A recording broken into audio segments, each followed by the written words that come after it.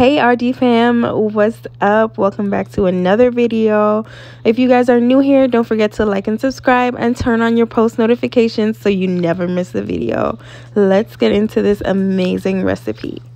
So now we're to be starting with our cabbage. You guys know I like to prep off all of my ingredients first. So I'm just taking my whole cabbage here and I'm just going to chop it in half first and then I turn it down and I chop it in three. And you want to make sure that you're not chopping it up too um too thin but not too thick. Because remember um depending on the size of the pot that you're using it's going to be a little bit more difficult to flip it over. But it's all up to you. If you want the bigger chunks of cabbage that's perfectly fine and like I said I just turn it afterwards and I just chop it down into three making sure if there's any hard um, little core pieces to the bottom of the middle section I'm just taking those out. And this is my cabbage hair. make sure you guys wash that off and just set it aside. Now I use the uh, turkey kielbasa sausage. And you can use whatever type of sausage that works for you um, you can use Cajun sausage if you like. You can use whatever brand that you like. Um, this was just the one that they had at the store, so it's the one that I decided to use. And I'm just chopping that up really nicely, not too thick, not too thin. And I'm going to go ahead and I'm using one yellow onion and doing the same thing with everything just chopping it up i'm not going to be dicing anything really small i like to have like the bigger sizes in my fried cabbage and i also used one red bell pepper and an orange um, uh, the color honestly does not matter uh, you can just use whatever you have available in your fridge or available at the store that you're at now for my mac and cheese, I'm going to go ahead and start boiling my pasta. I use the corkscrews and I just boil them in some chicken stock. Now I'm going to go ahead and prep those potatoes for our candy yams. And I'm just peeling off all of the skin here. And you guys can use a, um, a peeler if you're not too comfortable with the knife but i'm an island girl so we do everything in our hands and i'm just gonna chop those up into some slices here. Um, i don't like mine to be too thick but i don't like them to be too thin either. This um candy yam recipe is super super super easy. Literally we're just going to assemble it inside of our pot here. So i'm using three tablespoons of butter to start with to the bottom. And now i'm going to go ahead and use one fourth cup of sugar brown sugar make sure that you um measure it properly inside of the cup and press it down. And i'm going to go ahead and add in my cinnamon. You can add in however much you like. I like it to be really like you know like sweet and cinnamony. So um, I add in a good amount. I want to say I, I probably overall add in about three teaspoons of cinnamon and about I love nutmeg, so about a teaspoon of nutmeg, which is a bit excessive, I know, but that's how I like it. And I'm just layering on those potatoes uh, like so. Next up, I'm gonna go ahead and add on um, another set of butter and then another one fourth cup of um, brown sugar as well. Make sure that it's packed, like I said. And just sprinkle the sugar over that. And literally put some more potatoes on. All you have to do with this is literally just put the lid on, put it on the stove because I like my candied yams on the stove. It's candied. You can't get candied yams if you don't put it in on the stove. Like if you try to bake it, I don't like how it comes out. I feel like it's really watery and I'm just not down for it. So I just put it on top of the stove. I'm literally just going to put the lid on and I'm going to put that on the stove on low and just leave it cook. Literally, I don't move it, I don't mix it, I don't do everything, anything of that sort. I just let it cook. And I also forgot to add that I put in about one fourth cup of water in there as well. Now my pasta was cooked to al dente and I'm just rinsing that off with some cool water just to stop the cooking process. I know most people say, oh, you're rinsing off all the chicken stock. Negative. It already boiled into the pasta. Let's be real. Next up, I'm making the cheese sauce here for my mac and cheese. And I'm to go ahead and use one and a half sticks of butter. And I'm, I'm to go ahead and add in one fourth cup of flour to that melted butter. And I'm just to mix that up really, really well and let the flour cook off for a little bit. And at this point right here, I'm going to be using a whisk just to make sure that I break up all of the clumps of that flour that's in there. Because you don't want to have any clumps because once you start to add in the cheese and stuff it's not going to come out. And I also added in that flour in two parts if that works for you. I wanted to do it a little bit slower but if you want to do it a bit faster that works as well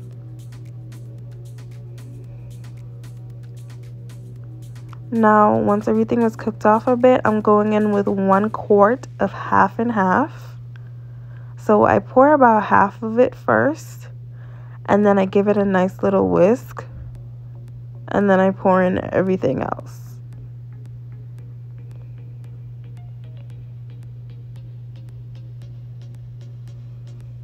And you just want to make sure that everything is just well mixed and nicely incorporated. And once you pour, you're finished pouring in the whole entire bottle, you're just gonna let that sit um, on like a little don't let it get up to a boil but just let it like build up to like almost like a little simmer. Right now my stove is on top of medium heat right here and you'll start to see it start to thicken.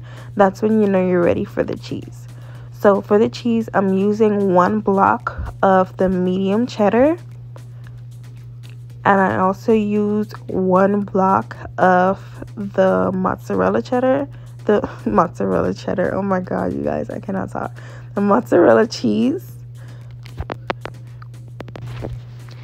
And I also used one block of the sharp cheddar.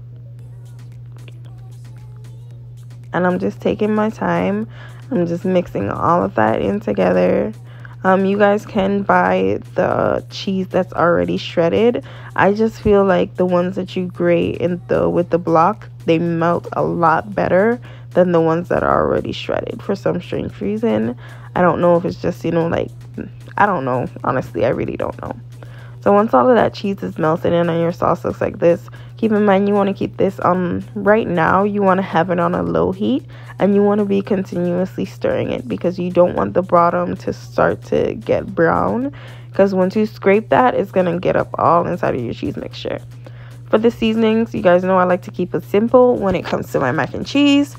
Onion powder, garlic powder, paprika, um, some black pepper, and a bit of adobo that is it literally one teaspoon of each i don't like overly seasoned mac and cheese. That's just not my vibe. But if you are one of the people that like to have more flavors in there you can go ahead and add in whatever seasonings that you like.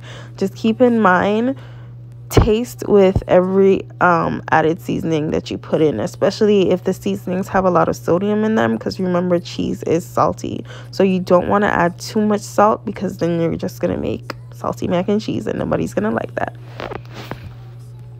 and this recipe is perfect um, for potlucks because potluck season is has arrived you guys and i know that. And i'm going to be putting out some more recipes for you guys for that. So now i just whisked up two eggs and i'm just adding that to the pasta. This just helps to keep um, the mac and cheese together and just makes it a bit more you know like stiff.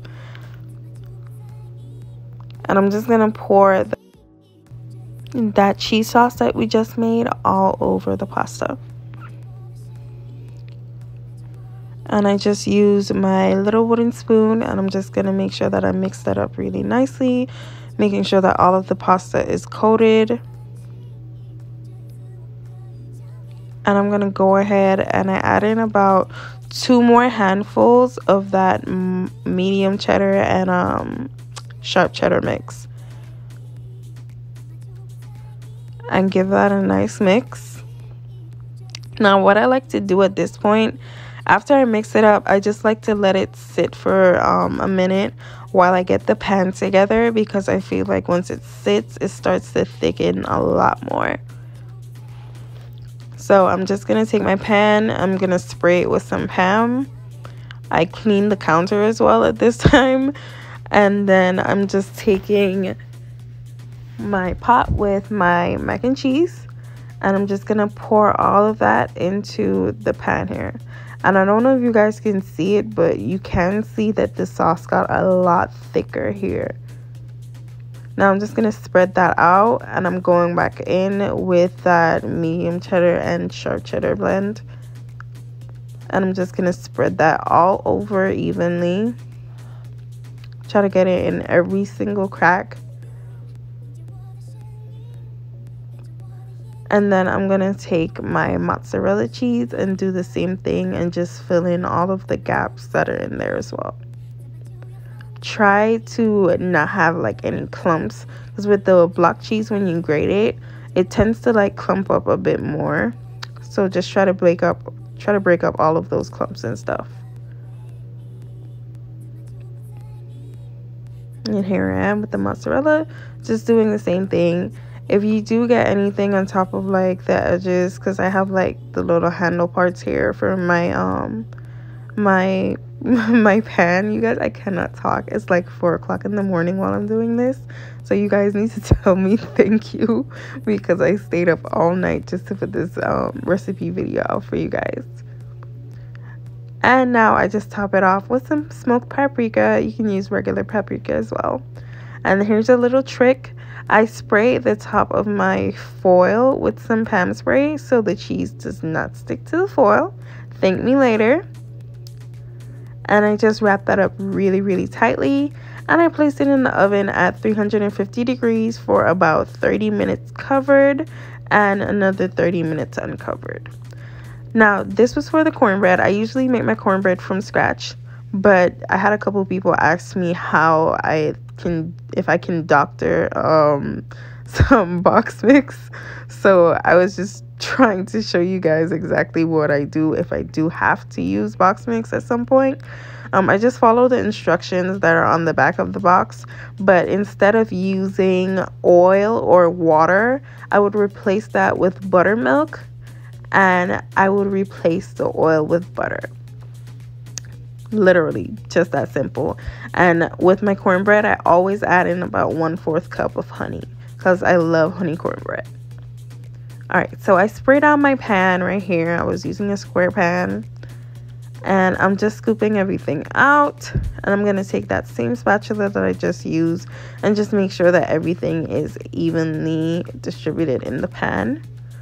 And i tap it as well on the counter just to get all of the bubbles out of them out of it right there um, then just follow the instructions to the back of the box um, on how long to bake it for and at what temperature they recommend.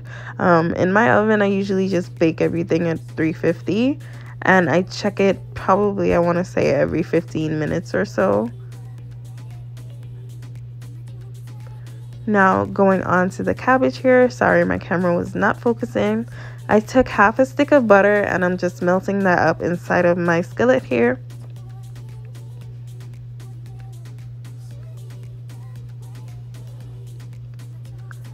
And once that's fully melted, I'm to go ahead and take that sausage that we chopped up earlier, our nice turkey sausage. Like I said, you can use whatever sausage you want to use. Just follow these same exact steps and I'm just making sure that everything is evenly placed on top of the pan because you want to get a nice little sear on each of the sides. For as, for as far as how long I seared it on each side, I want to say probably like two to three minutes on each side. It wasn't anything crazy. I just wanted it to have like a nice like blackened look to it. So I'm just taking a fork here and just flipping them over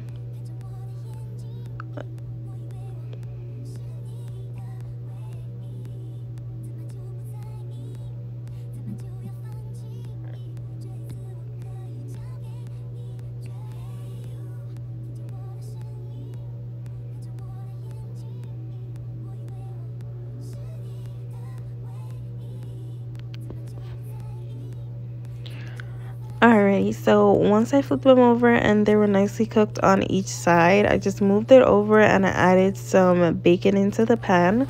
with the bacon you want to make sure that you're getting it as crispy as possible like i'm not i can't stress that enough because once you start to add in all of the liquids and stuff if the bacon is not too crispy it's just gonna get all soggy and you know like i like a nice crispy bite inside of mine so i'm just gonna fry everything up a little bit more just to make sure that everything is nice and crispy like i said. And once everything is done i just take my spoon and i'm just taking uh, the sausage and the bacon out making sure that i'm trying to shake off as much grease as possible because we want all of that. So i literally just tap the spoon on the side of the pan just to get everything to drip out a bit more and i'm just putting it in a regular bowl i'm just going to set that off to the side not too far so once everything is out, I'm going to go ahead and take those veggies that we chopped up earlier, the bell pepper and the onion, and we're going to add that to the pan. Right now my pan is on a medium to high heat right here. And we're just going to cook down all of those vegetables until everything is nice and soft. I also added, I want to say about a teaspoon of garlic.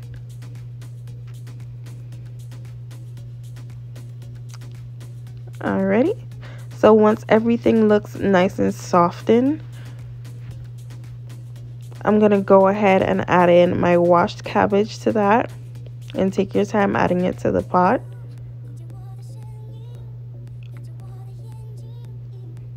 I got a little messy, so I had to put in some off of the side. My stovetop was clean, I promise. And I'm just going to try to kind of mix it a little bit this is why I highly recommend using a bigger pot than you think you need. Now, once I try to mix everything up, I'm going to go ahead with some chicken stock here. And I'm just going to pour that inside. I think I forgot to get the footage of that. But I poured about one fourth cup of chicken stock in there. Sorry, you guys. And I'm just to go ahead with my seasonings here. I didn't use anything like too crazy. I love allspice inside of my fried cabbage. Um, you should, I get mine from Walmart. Um, it's not like the actual like the little tiny like ball ones. I literally have like a seasoning that's like mixed spice. And it's just like cloves and like nutmeg and all of those other like brown spices. And i'm gonna go ahead and also add in some onion powder some garlic powder black pepper smoked paprika. Um, i also added some creole seasoning. I added some cayenne pepper as well because i do like my cabbage to have like a little bit of a bite to it and I also added in some complete seasoning. And I just take my time and try to mix that up as good as possible.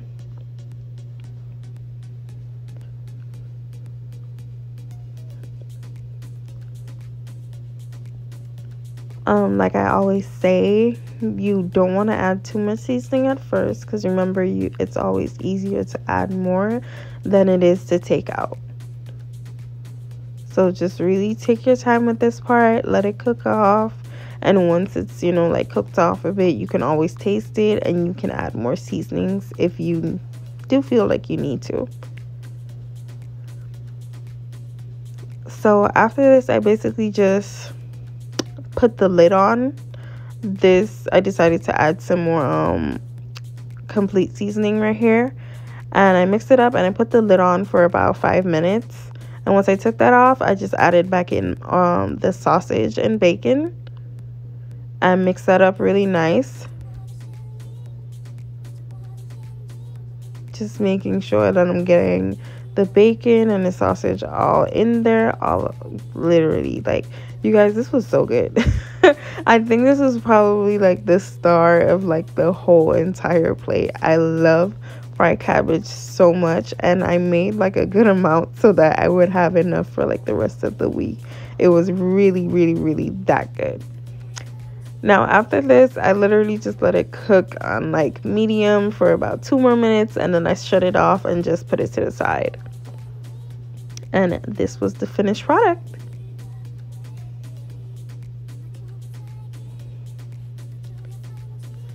Mm-mm-mm. Look at that. Look at that. Like, I could smell it through the phone right now. Why is it 4 o'clock and I already want fried, ca- fried cabbage again?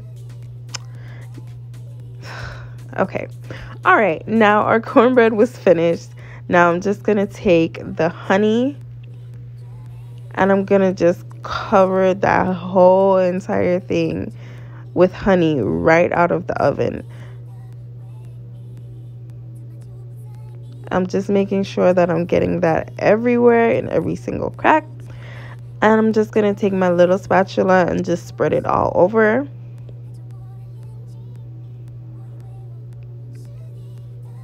And for me, I just feel like it, it, it spreads best when you put it on while it, the cornbread is right out of the oven and it creates like this really nice like sticky layer on top of the cornbread. I can't explain it but it's so good like literally. All right so once you have all of that spread you just toss this to the side honestly. It's all done. You're not going to need to do anything else to it unless you want to add more honey but that's about it now, our mac and cheese was finished for the first 30 minutes. I'm just going to go ahead and take off the foil off of that. And this is how it looked. And I'm just going to go ahead and pop it back in for another 30 minutes. Now for my rack of lamb, you guys. Okay, look at me making lamb, okay. I'm just patting it dry, just making sure that I'm getting everything off of it. If there was like any excess fat or whatever, I just trimmed it off really quick. And I sped this part up. Um, I'm just cutting them off really quick. Um, take your time here because sometimes the bones are like slanted a bit. So you just want to try to just look at what you're doing and just making sure that you're going along with it all right so once i was done chopping all of that up i just laid it down on top of my cutting board. I'm gonna go ahead and hit it with a bit of olive oil as the binder. And I'm gonna go ahead and season it up with my regular seasonings. I didn't use anything spectacular. The only thing that I added that was probably out of my norm of regular seasonings was just a little tiny touch of clove powder.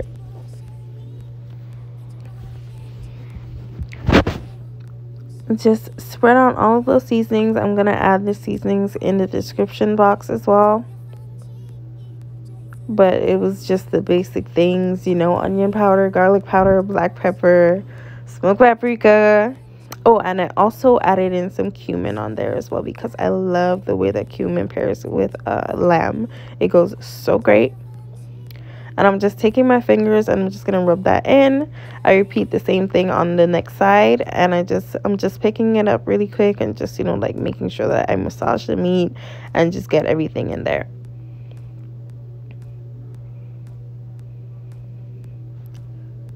All right. So once this portion was done i started to heat up my cast iron. And i poured a bit of olive oil in there. And i'm just gonna sear these on each side for about four minutes. And the heat on my pan was about medium to high right now. Now our mac and cheese was finished you guys, I cannot stress this enough. Do not dig into the mac and cheese right out of the oven. Just let it rest. It's going to need about 15 to 20 minutes to rest. Don't touch it. Put it somewhere that is not going to be bothering you. Please just let it rest. Go ahead and flip your lamb chops over. And once they're done on that next side, put it in a pan, and let them rest. Put it right next to the mac and cheese. It's not going to bother you, and you don't bother it. Now, for the last and final part, we're going to go ahead and work on that glaze for the lamb chops. This was another favorite of mine. I just put in about half a stick of butter, a teaspoon of garlic, Um, um, I want to say about a tablespoon of soy sauce. And then I went in with about one fourth cup of honey.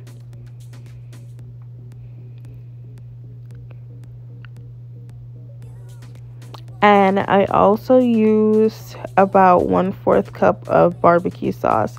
You can use whatever barbecue sauce is your favorite.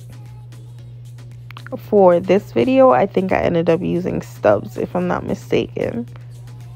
And I'm just taking a spoon, I'm just going to mix that up and on a medium to high heat i'm just gonna let it cook off till it gets thick like this. This is the consistency that you're looking for. Almost thick enough to coat the back of the spoon. And then you are done. We're gonna go ahead and plate this up really quick. I got my yummy cornbread. I added a bit more honey on top of that because you know like you can't have cornbread without honey. And i want extra honey on my stuff don't forget the mac and cheese and then our fried cabbage. This was definitely the star of the whole show for me. And we can't forget about our candied yams. Like I said, you guys, with the yams, I literally just left it on the stove on low. I want to say for about 20 minutes or so. And they were just perfect, literally. So perfect. I couldn't ask for better candy yams literally. I'm putting up my lamb chops really, really nice. You know, making it look a little presentable for, you know, TikTok and stuff. You know, everybody eats with their eyes. And I'm just going to take that same glaze. So with my glaze, um, I made sure that I kept it on like a little like the lowest heat possible that I had on top of my stove. If you have like a warm setting, you can keep it on that as well because you don't want to turn it off completely because it's going to get really thick and then you're going to have to reheat it again. And I'm just covering the lamb chops with that glaze. Look at that. It's so sticky and juicy. Oh my god. Mm -mm. It is 4 o'clock in the morning once again. Why am I this hungry? and voila that was it literally such a great plate.